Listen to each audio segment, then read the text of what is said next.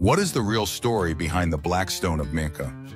The Hajar al-Aswad, set in the eastern corner of the Kaaba, is one of Islam's most revered relics.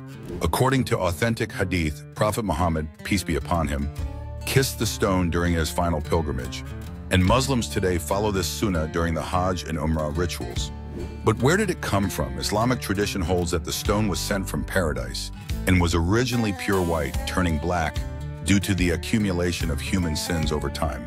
Historically, it has been venerated since the time of Prophet Ibrahim, Abraham, who is believed to have placed it in its current position during the construction of the Kaaba. Scientifically, the black stone is composed of several fragments held together by a silver frame. Some researchers suggest it could be a type of meteorite, given its unusual appearance, texture, and weight. But its exact composition remains unconfirmed because testing is not permitted. For centuries, the Black Stone has been a symbol of unity and faith, marking the starting point of the sacred Tawaf and connecting millions of pilgrims to a profound spiritual legacy that transcends time and culture.